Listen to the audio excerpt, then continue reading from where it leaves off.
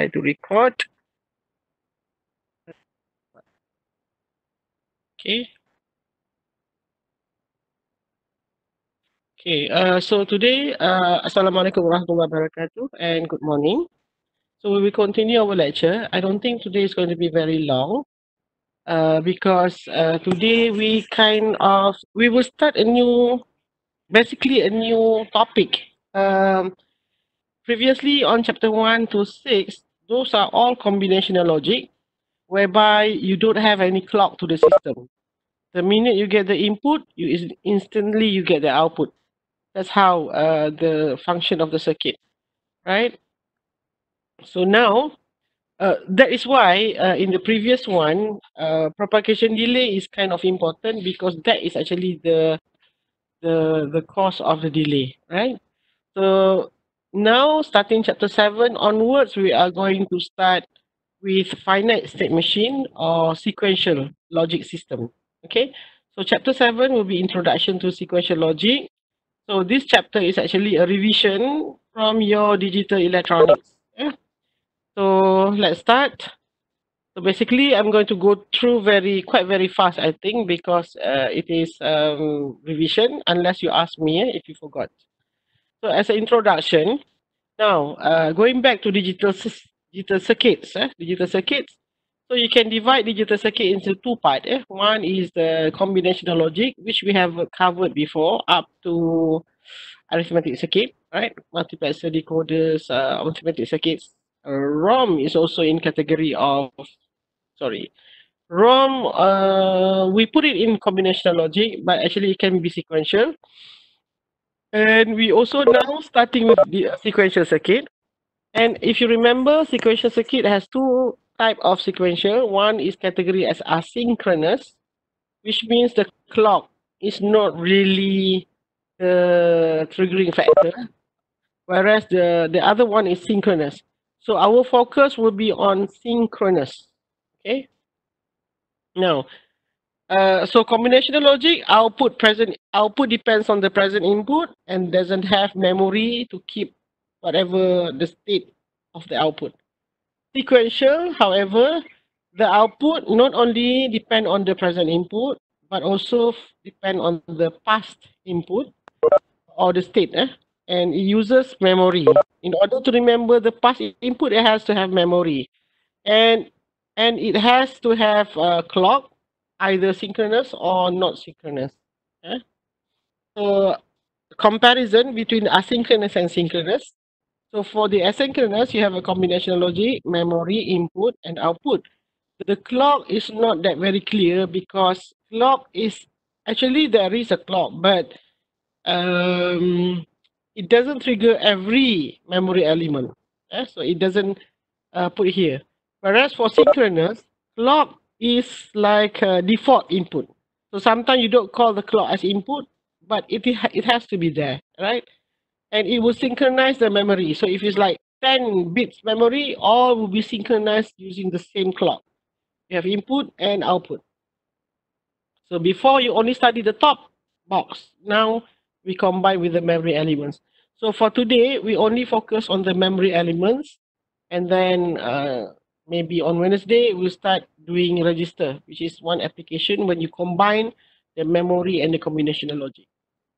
So First of all, because clock is the is the component that synchronize the whole thing, that makes everything changes, right? Uh, so clock, basically, uh, if you recall, clock is actually just square pulses, square pulses. So it has a clock period, and it has a clock width or pulse width. And then the more the most important thing now, not only the clock period, but you have the rising edge. Rising edge is when the clock is transition from zero to high, and the following falling edge is when the clock transition from high to low. Okay. Now, uh, the simplest form or the starting uh, introduction or design of uh, of the memory system is called bistable circuit. Now, this is a simple one, but now now you don't use it as a flip flop. This is not a flip flop. This is a latch because it doesn't depend on clock yet, but it has memory somehow. Eh? So bistable, you have the R. R stand for reset, S for set. And then the Q and Q bar. When it called bistable, meaning it has two stable state, either zero or one. Yeah. Clock is not stable. Clock is astable, stable, meaning it always continuing zero, one, zero, one all together, all the time. Uh, so bistable, you either have zero or one. So in binary system, Q if Q is zero, Q bar has to be one. If Q is one, Q bar has to be one. So R is for reset. So the function of reset is to make Q, our reference is always Q, to make Q equal zero. However, if set is triggered, the set function S is to make Q to become one. Okay, we never change that. Okay, so for example, sorry. So you can have a functional table here, SR, so I don't go into detail much. SR, so here you don't have bubble, but for the Q bar, normally you have the bubble. Uh, you, you may also have the over bar and the bubble, don't worry about that. That means this is normal Q, this is the complement of the Q. So if S is 0, R is 0, meaning neither set nor reset is activate. Therefore, Q plus is your next state. Eh? So your next value of Q will be the same as the previous Q. So next state is still equal to present state, same as for your Q bar. Therefore, the action or the function will say no change to the status. However, if the reset R is 1, that means Q plus, the next state will be reset, it means it will become 0. Okay, and obviously Q bar prime, uh, Q bar plus will be 1. That is the reset. And if the set is activate, then Q plus or the next state will be 1 and the Q bar has to be 0. However, if you turn on the set and reset, it's like you're trying to activate both. Set is to tell to give Q0 1, reset is to give Q1. So that is actually contradict to each other. Therefore, this status is called forbidden. I mean, you should not let S equal R equal 1. Yeah, because what happened, you got 0, 0. So therefore, normally when we design, we say X. X uh, invalid because that is a status where you should not use. Uh, this is the example of how it works. Now, the good thing about the SR, I mean, the most application of it is that when you have jittering input, like in your third milestone, if you implement on hardware, your input is from switch. Remember when you put a dime or a nickel. So the switch itself, when you press, sometimes it doesn't give you a solid one or a solid zero it will have like one and then another one, another one before it's stable. Similarly, when it go it, when it goes to zero, sometimes it takes time to go to zero. So what happened is that here, uh, if your set is one and your reset is zero, Q become one, and as long as your reset is zero, it will only read the first set. The rest is ignore as long as the R is zero. Why? Because uh, zero zero no change meaning the current one is maintained set is one remain one and then zero zero no change so remain one okay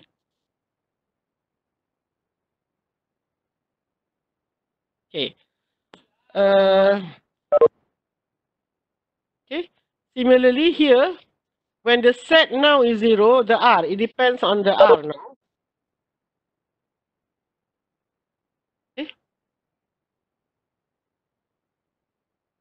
Okay, It depends on the R now. See, if the S is 0, look at the R. Okay. So, the first R is 1. That's why you got here 1. And eh, sorry, you got the 0 here. Because this one to say reset. But the next one and 1 will not change the output because your S is remain 0. So, that means you have 0, 0, 1, 0, reset, 0, 0, no change, one, zero, reset, 0, 0, no change. And then on the next one, the set again. So the output is set. Set, yeah? Uh, however, if both is 0 and 0, remember? Uh, no, no, no. this is not the issue here. The issue is here. When the set and reset is 1, actually what happened is that you got 0, 0 from the action table. Right, from the previous, table. But when you have 0, 0 after that, which is uh, no change criteria, you get something unknown because this is invalid. Invalid. Why is it invalid? Because in digital, you cannot have Q and Q bar to be the same value. Okay, you cannot. That's not allowed. That is, uh, if you have a law, you get, go against the law. Okay.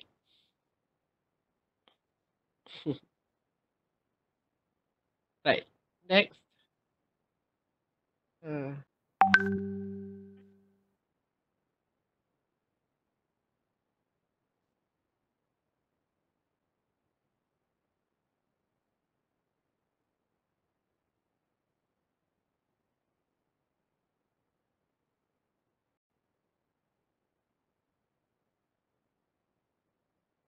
Okay, this is an active low, active low uh, latch, whereby now if you look at it, the forbidden is when S and R is zero zero. This is forbidden. I mean, you should not allow this um, this condition, this input condition.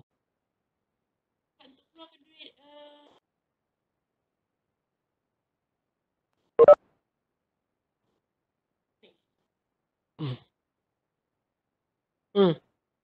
Okay, right. So, okay. So for the NAND, uh, for the NAND gate, you have uh, what? See, you if you look at it, if the set is zero, if your set is zero, the output is set. The output is set. However, if the reset is zero, the output is reset. But if you want one, mean no change. Because this one is active low. Okay? This one is active low.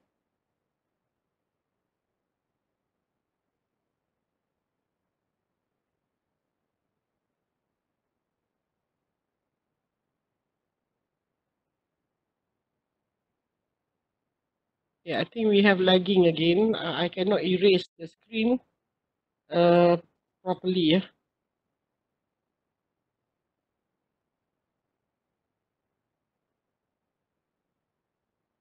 Okay. So now if you lose active, if you look at the active low, what happened? Uh, when S is, uh, okay, this is a latch with enable. Actually, this is latch with enable.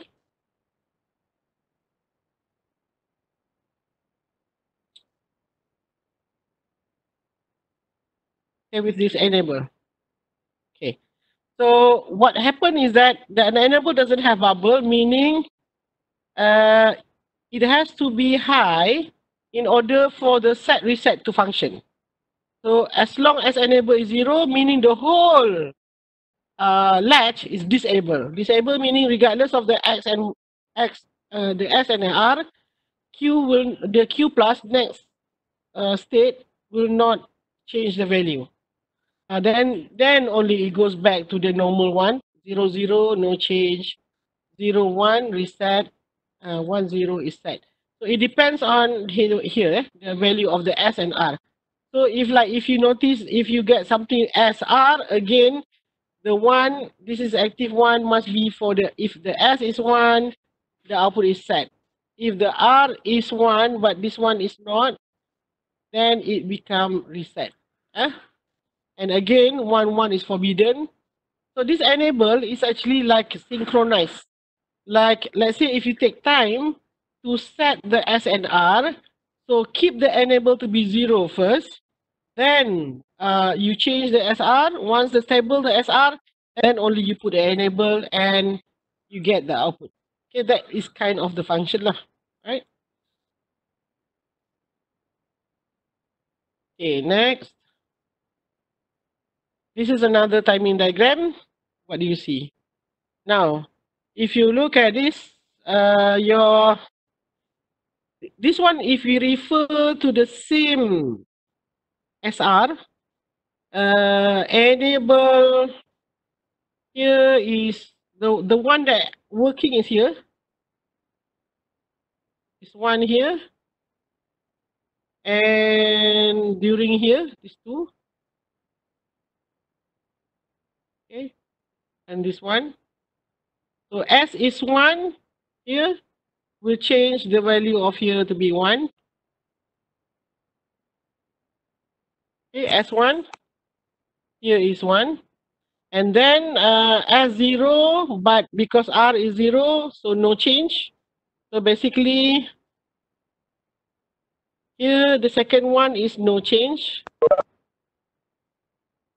Then here is 0, 1. Now you uh, reset. But, uh, but this reset will not uh, will not function because of the 0. So nothing happened here. Actually, this is also no change. But no change here is because of this 0. No change here is because of this 0 and 0. Yeah? Now 0, 1. So that means um, at first you no change. But then uh, 1 here will set. So that means uh, this is a new, a fresh one. Now, no change from here to here should not be any nothing should be happen at the output because of disable, right? And from here to here now on, so this is zero one, you reset. So that's why you got reset. Okay. Uh, this is again uh, actually um, what you did before, right? Because I'm teaching digital electronics at the same time, so I remember this thing. Uh, right, but you may forgot. Now, D flip-flop or D latch. Here is actually still D latch because the difference between latch and flip-flop is clock. If you have level triggered like this, level trigger meaning your enable, your output change. Huh? Ah, yeah. Okay, the enable here is active high. That means level, level trigger. Okay, level triggered.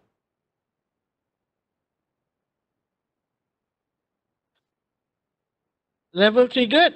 So this is why it is a latch. Okay, so D flip-flop is simple. This is sometimes called delay or data. D can be um, D can means delay. D can also means data. Because if you notice, your Q is always follow D. If D is zero, the next Q is zero. If D is one, the next is one, providing enable. So it's like this data is transferred to the output, providing enable. Okay.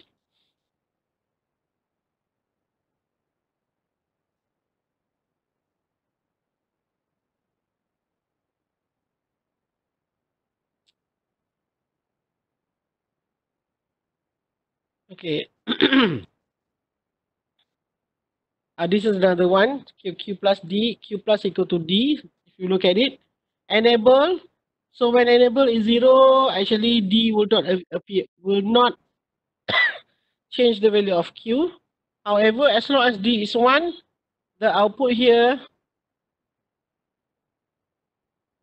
the output here, the same. Right, here and here the same.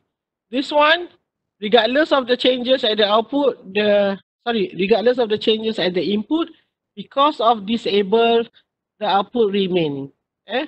But now if your enable is high, any changes at D will appear the same as the output. And now again, no change because of zero. Okay, that's how you do it.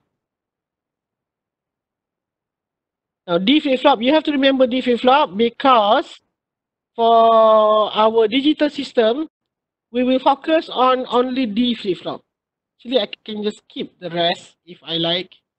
Um, okay, I can't get the eraser to work.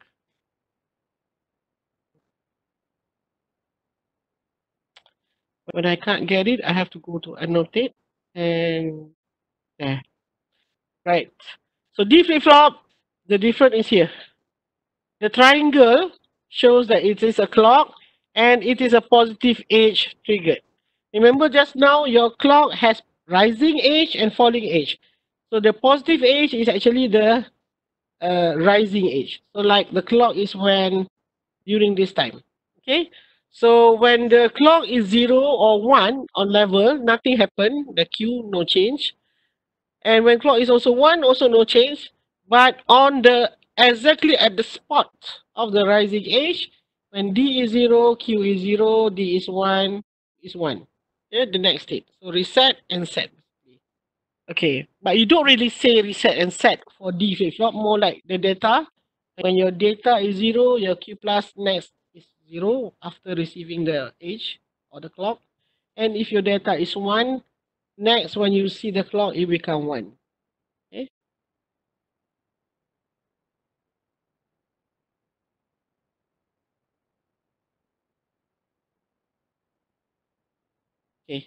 This one is flip-flop versus latch. Now you have flip-flop versus latch. What happened is that if you look at the first one, this is a latch. Although labeled as clock, but when there's no triangle, yeah, no triangle shape here, meaning this is a latch. When there's a triangle here, this is a positive edge, and this is a negative edge. When you have a bubble, when you have a bubble,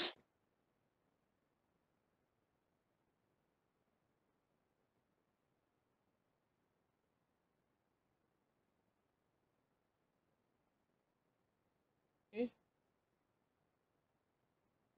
how different function works. Mm, so the first one is a latch. This one is positive edge triggered and is a negative edge. Can you see how the output looks? Why the output looks like this? Now I am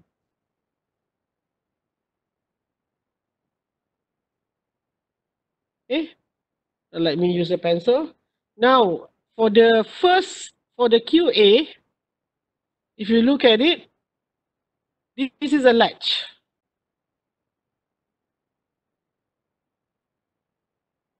This is a latch. Therefore, the output will change here. 0, 1, 0, 1, 0, 0. For as long as it is 1, they will, the changes will taking, uh, taking uh, it will take the whatever the changes. Similarly here, 1, so 0, 0, 1, 1. But when it's 0, although the changes here, but the output remain 0.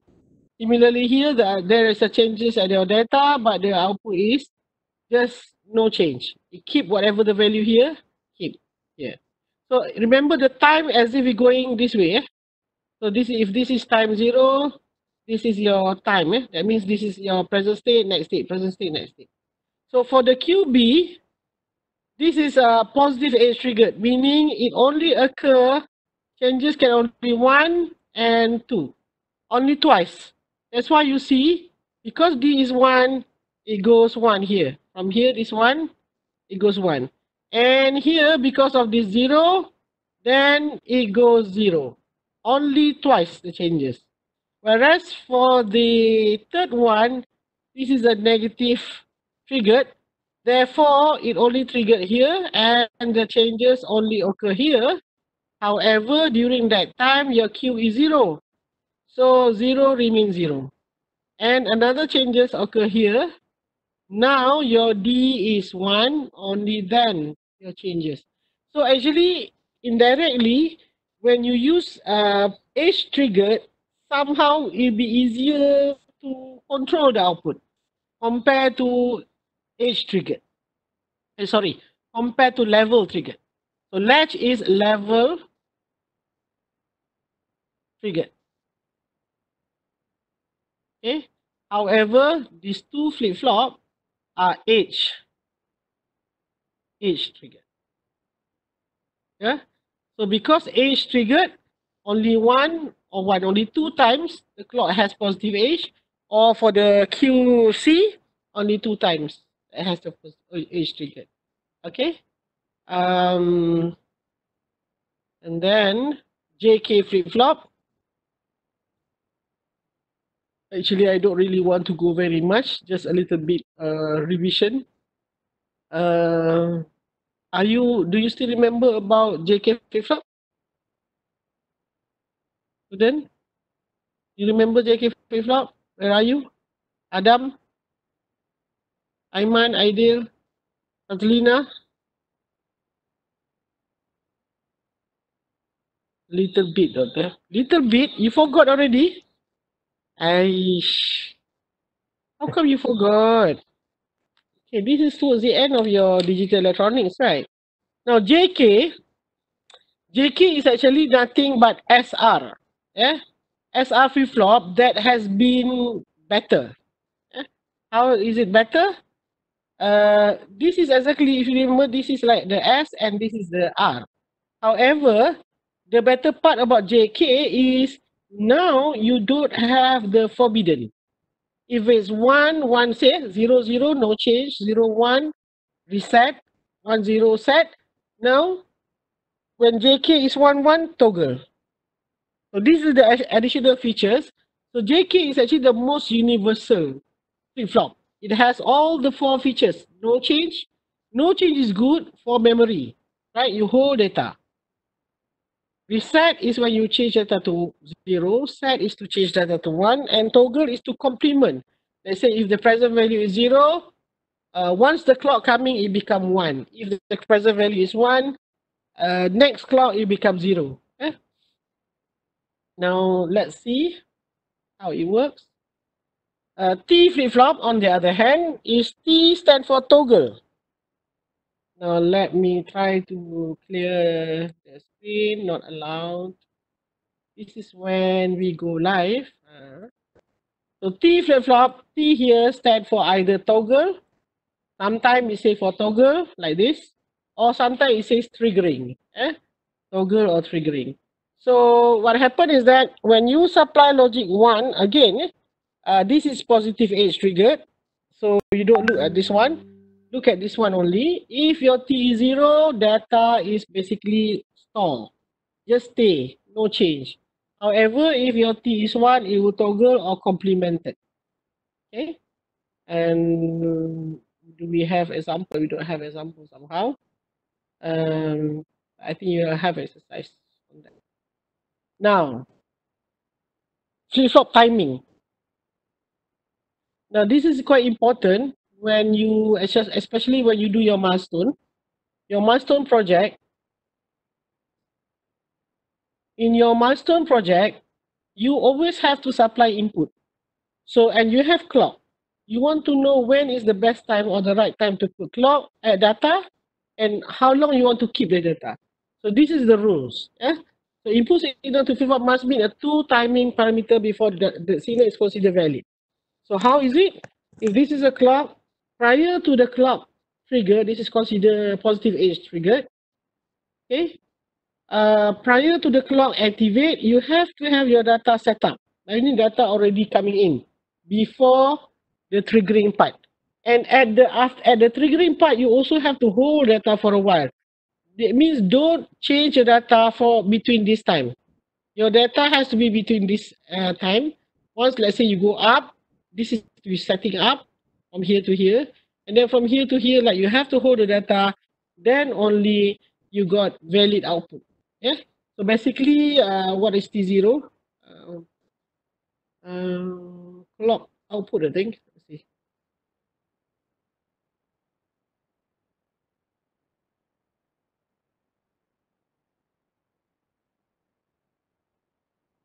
Uh, I, I missed the one page. Ah, here setup time, minimum time required, hold time and clock output to time, the clock to output delay time, the minimum time after a clock age to obtain a valid output. Actually, the critical one is TSU and TH. So that's why if you have clock, let's say if it's, um, how do you get it? Eh? Um, this is the, the sample problem. Sample problem, your data is changing. That means here. This symbol like this, meaning your data is not stable. it will be it can be zero or one from from from here to here as if data still not stable. And then the clock coming in. When the clock coming in and the data is still not stable, then you violate, you did not, kind of, you did not set up properly your data. So it says the output goes into meta state. Meta state meaning it may be zero, it may be, it may taking the data from before, it may take data from after. Like sometimes it works as you plan, sometimes it doesn't work as you plan, right? So you have to be careful on that.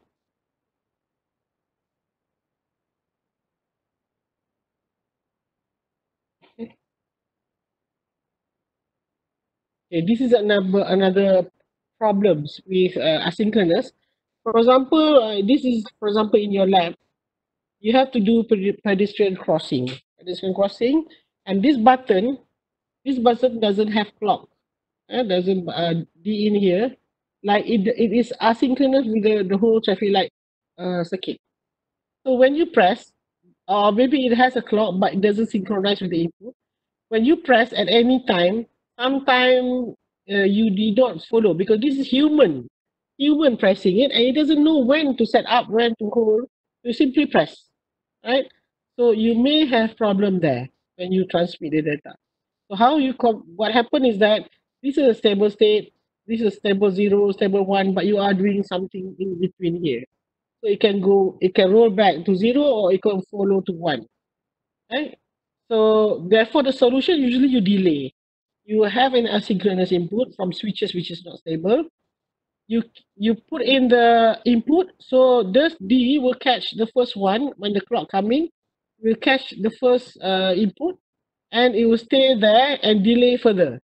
So when it comes to the system, actually whatever that it catch first rather than the, the toggle, the changing zero one, it'll go to the system. This is like a delaying, delaying to two clock before you read the actual and this data coming. So this one is like jittering input. Here will be a clean input. Yeah, so the synchronous system will detect only clean input. So when it detect clean input, therefore it will it be more stable. Okay. Uh, this is the operation. Mm. Now, when you do this under the sequential part, if you remember in the combinational part, sometimes you need to analyze the system. What is your analysis? What do you mean by analyze? Are you here? Hmm? Daniel? Felix? Who else is here? Still 43 only, eh? We have to be 65. There's a lot not here. I think the those who not here are the one who are always not here. Even in the normal class also we seldom have full, right? Hmm. Right. So the you use the characteristic table. That means if you have the D, D input, then you get you can see what happened to the Q plus. Remember for the D flip flop, your Q plus is equal to D or your output is equal to the input, right? So if your input is zero, your output will be zero after the clock. And if D is one, the output is one. So this one is useful when you are analyzing or when you want to um, you want to investigate behavior of a given circuit. You are given a circuit, then you want to see how it works. It means normally you are given a circuit, you have to come up with a state diagram to define to get the behavior of the circuit. On the other hand, you have something called a excitation table. So excitation means you rather than you want to see how it works, uh, you want to come up with the circuit that have this kind of behavior. So that means what given to you is present state and next state, and you have to decide what are the input required in order to get that kind of transition. For example, if your input is zero, your present state is zero, and then when clock coming, your output still zero. Obviously, your D has to be zero. If your current state is zero, but when clock coming, it become one. Obviously, your D has to be one because this. If you Q plus equal to D, D is also equal to Q plus. So similarly, if one zero, meaning your current state is 1, but your next state is 0, obviously your D has to be 0. Because this D is 0 that bring the reset. However, if your Q is 1, it goes to 1, meaning no change in behavior, therefore the D is 1. Okay, and then from there, you say Q0 is 0. Now, when this is state diagram, from this excitation table, actually you can come up with a state diagram. What happen is that when Q is 0, is 1 eh? And Q is 0, and Q is why am I always having the I don't get the and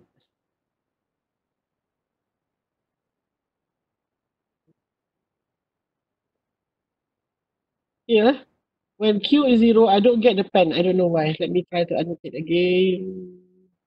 Play around this stuff. Ah now I got the pen. Now if this is zero so starting from here and Q is zero if D is zero it will go back to itself. If D is 1, the Q will be 1. And if from the state of Q is 1, if D is 1, it will maintain, it will maintain 1. So it stay it going back to itself. However, if D is 0, it will go back to this one. So this line and this line are called transition. The round thing is the state. The bulat ni is the state. Ini is the transition and D is your input. So if you have one input, there should be two possibility of moving to the other side or to go back. I mean, from this present state, if D is 1, what happened? Is 0, what happened? If from this state, if D is 0, what happened? If D is 1, what happened? You have to complete. Yeah. So this is how we come up with the state diagram. The state diagram is actually the best or the easier one because naturally our tendency is we figure out better from diagram rather than from table or writing or numbers. Eh, I'll just follow procedure. Yeah, so D flip flop. And I think let's see how many slides we have. How many slides we have?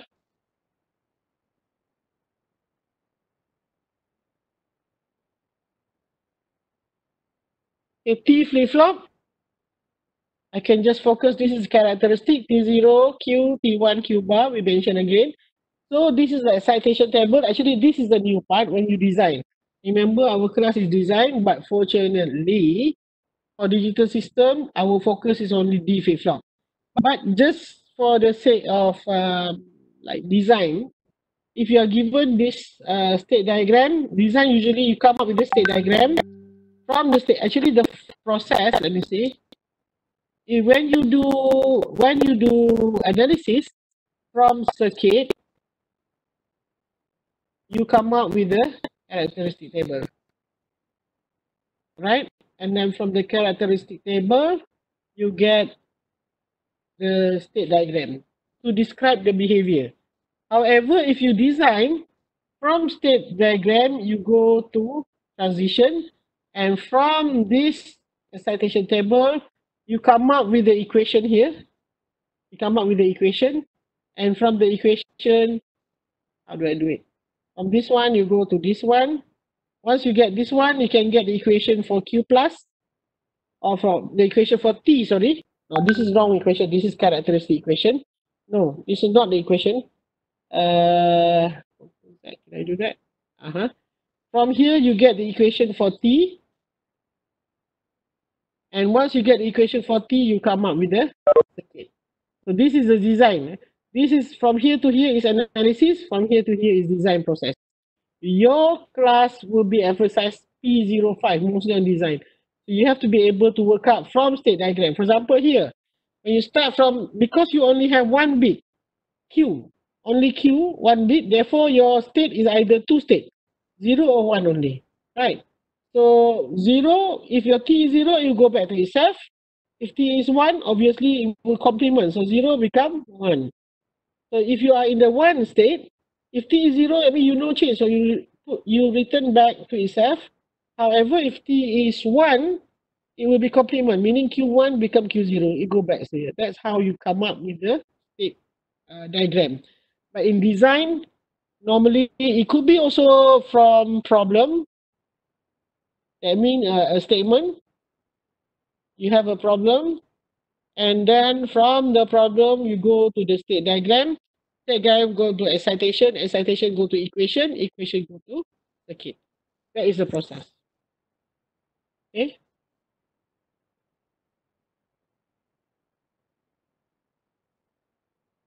Okay, this is JK flip-flop. JK, there's a lot.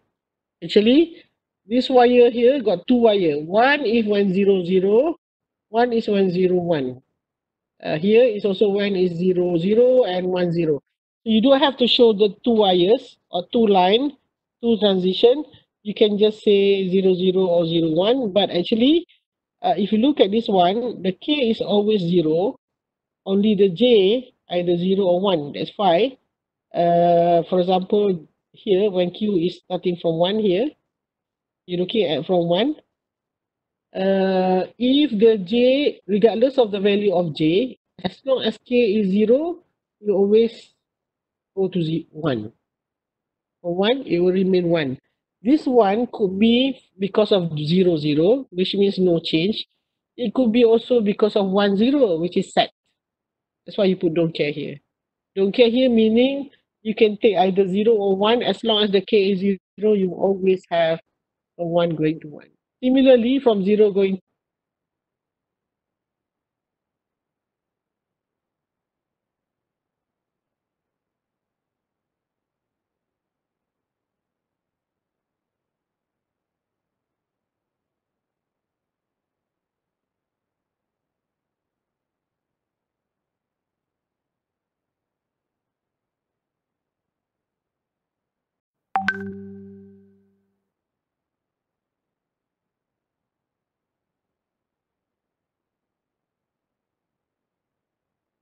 fish what's up what's up what's up? Hmm.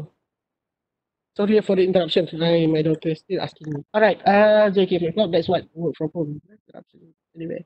Uh jk flip-flop you have to get this one and then the sr flip-flop you have that but you have to make sure sr equal to one is not allowed yeah, for the sr flip-flop and then this is the summary of the table. Uh, this is summary of the excitation table. So I think you just focus for D. And in fact, later on, in fact, in your milestone, I think you should ask me, or somebody, asking me which flip-flop you want to use. Now, for all your milestone project, just use D flip-flop. We're not going to use SR, JK, or T. But actually, if you use JK flip-flop, you will, you, there is a big tendency that you will come up with a simpler Okay. However, the method will be longer because if you use D flip-flop, you only have to get equation for D. However, if you use JK flip-flop, you need to get equation for J and for the K, so there's, there's a lot more to do. Yeah? D flip-flop, you don't use much. So actually, our focus, our focus is only on D. And because of D flip-flop, D is always equal to Q plus. So sometimes, um, if you notice in your milestone or in your exercise, they don't they don't emphasize the D. They just get the present and the next state because Q plus is always equal to D. So indirectly, when you get the equation for Q plus, you are getting the equation for D eh? because of the, the, the nature of it. Eh? This is what uh, example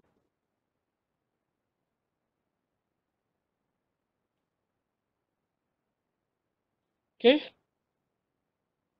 uh, this is what I did uh, in the example before actually. Now, this is the way I, because some of you asking me how to do annotation. This is how I'm doing the annotation, right? Look at it. Uh, A is remember the, the A figure. I make time to highlight, to point out, and to write. Yeah, output changes and so on. That's how you should be doing for your for your milestone. I don't want you to simply give me the waveform. Ah, 100% successful. Here is the waveform, and that's it. And who's going to interpret? You ask me to interpret whether it's right or wrong. So don't do like that. Because I'm expecting for you when you do your milestone project, especially with the sequential milestone, all this thing, you you understand, you know that the circuit is working, and therefore you tell me. I want to see that you know how it works. So sometimes it may not be right, or maybe you didn't test enough to see all the possibility, especially for right. For the milestone four state editor, you have, for example, the input is D, N, N, N. Now, the first sample that you may do is you do the all the correct sequence, D, N, N, N, and show me the state. The state has to be going from S0, S1, S2, S3, and the output triggered. You have, you have to also show me another version of when it is wrong. For example, you do D, N, D, D, N, N, N until you get it right. Or we have 2, 3. So that means your output waveform, you can show me at least maybe three sample output. For example, one is the right one, one if you don't give the right one, what happened? And you show me the process. When is it detected and why is it detected? And you show me the edges. For example, here, I clearly show you the Y is based on the negative edges. Negative edges, only at the negative. You put a dotted line. But I'll be able to do this by flipping this figure onto your uh, into either PowerPoint or into Word, and then you do the editing, right? Or you can even do it uh, cut and paste into Paint and add the additional remark on your waveform. That's how you should be doing it. Even I myself, in, in the short time, I'll do it, and you have to do it. So that, like, say your test, your final going to be very late, right? Uh, in I don't know June, maybe, right? Now it's April. So by the time you're going back there, you check back to your work, you know how it works. And trust me, we have tested students many, many times that we do final exam from your milestone project, but not exactly it looks, almost sometimes it looks exactly the same, except the input we give and it asks you to complete the waveform. And many students are unable to answer. Why? That's it. Because you do your diagram, you simulate, and then you, that's it. You don't really check how it works. As long as you can see the there are some changes, you assume that it's okay. Okay? So I want you to be clear on that. I want to see because now until milestone four, so far you don't have hardware. So that means your reporting, I'm going to be very strict on how you show me that you understand how it works. Okay? Your objective must be clear even if the milestone only have one objective, you can put two or three objectives based on what you're doing. For example, in milestone four, you have to do one hot method, um, binary method, binary encoding, and also the editor, the state machine editor. So when you compare the three methods, right, and you tell me, how do you find it? What is the pro and con between one method to the other method? Eh? So, is there any question you want to ask me before we sign out? Daniel? Huh? We have 44 here. Aina, Balkis.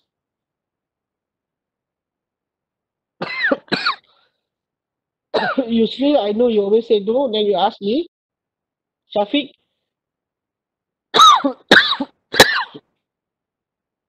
okay. Balkis, are you are you the one named Long Balkis that always asking to join me on MV?